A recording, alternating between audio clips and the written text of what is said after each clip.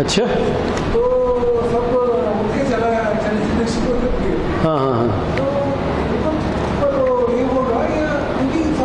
थे। हम्म, तो हाँ इशारा समझ नहीं पाए हो तो फिर भी रुके नहीं। लोग इशारा देते रहे और रुके नहीं। तो ऐसे लोगों का बेहतरीन इलाज यही है कि छोड़ के चले जाना चाहिए। तो कुछ नहीं। कोई गुनाह नहीं, खुतबा सुनना ज़रूरी नहीं है। और ईद वगैरह का खुतबा तो बिल्कुल मुख्तसर देना चाहिए। जुमे के लिए ही खुतबा मुख्तसर होना चाहिए, लेकिन क्या उज्र पेश करते हैं कि जल्दी खुतबा ख़त्म कर देंगे तो लोग लेट से आते हैं, उनकी जमात छूट जाएगी।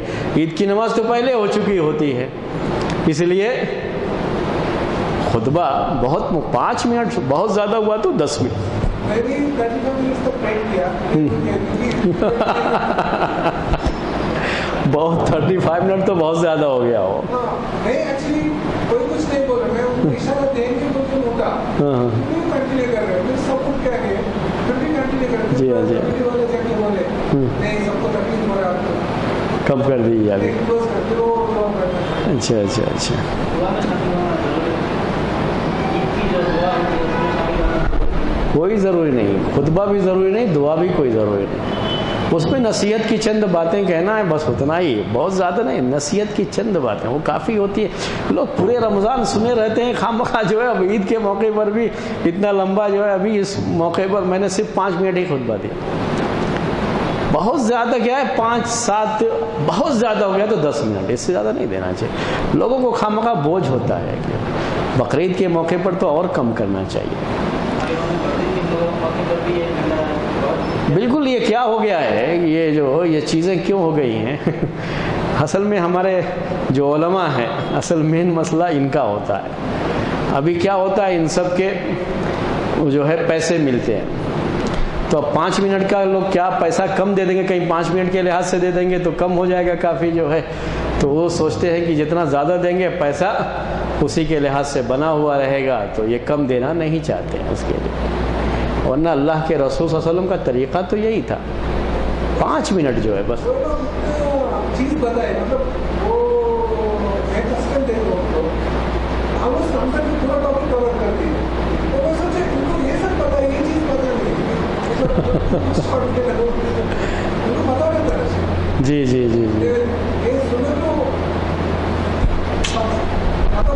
पता होना चाहिए? सबको पता है कि, कि अल्लाह के रसूल वसल्लम क्या करते थे। लेकिन क्या है इतने लंबे खुतबे अगर ये लोग उसका उसकी उजरत देना छोड़ देंगे तो मैं यकीन के साथ कहता हूँ कि ये खुतबे मुख्तसर हो जाएँगे। जुमे के खुतबे भी और ईद के खुतबे भी मुख्तसर हो जाएँगे। लेकिन ये पैसों का मामला बीच में ऐसा आ जाता है कि इसकी वजह से खुतबे बहुत लंबे हो जाते हैं। मैं हो सकता है आपको ये लगता हो, लेकिन ये मेरा अपना ये है, तजिया है, कि वजह यही है मेन वजह यही है, लंबे खुतबों के ताल्लुक से। उलमा की इसलाह की बहुत ज़रूरत है। बहुत सी गलतियाँ हुई हैं उलमा से। अभी जो आपके सामने ये कंपनियों का मामला है, ये सब गलतियाँ भी उलमा की ही है। लोगों ने पैसा डाला है किनके कहने पर? उलमा के कहने पर डाला है। उनके वेरीफाई करने पर डाला है। सारी गलतियाँ इनसे हुई हैं। आज मानने को कोई तैयार नहीं कि हमसे गलती हुई मार्केटिंग किया इन्होंने और मानने को कोई तैयार नहीं है उसके लिए। तो इसी जो चीज़ें रही हैं, ये पैसों के लिए बहुत जल्दी इस तरह की चीज़ें हो जाती हैं। अल्लाह ताला इन चीज़ों से महफूज रखे। अगर आपको ये जो कंपनियों के ताल्लुक से ये मालूम करना है, सही माने में कहाँ कहाँ गलती हुई है तो अभी जो जुमा गुज़रा है, उसमें खुतबा मैंने इसी मौजू पर। तो एक मरतबा सुन लीजिए आप जो है मालूम होगा आपको कि जो है क्या क्या उसमें चीज़ें जो है हुई हैं। सुन लिए हाँ जो है जो हम्म, हम्म, एक शख्स दस लोगों से इन्वेस्टमेंट लेता है। जी हाँ। होता है हम एक बिज़नेस स्टार्ट करेंगे। जी हाँ। है।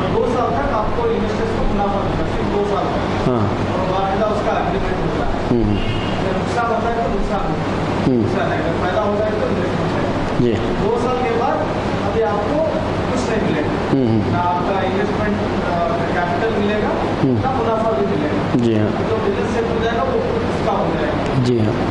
तो अगर वो सौ फ़ीसद इंटरेस्ट इंटरेस्ट लेके हम्म, पूरी अपनी मेहनत लगा के नहीं कर रहा है और टाइम गुजर गया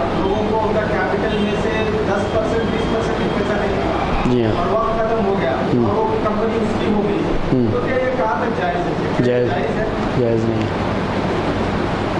ये सब भी ऐसे ही धोखा है ये असल। में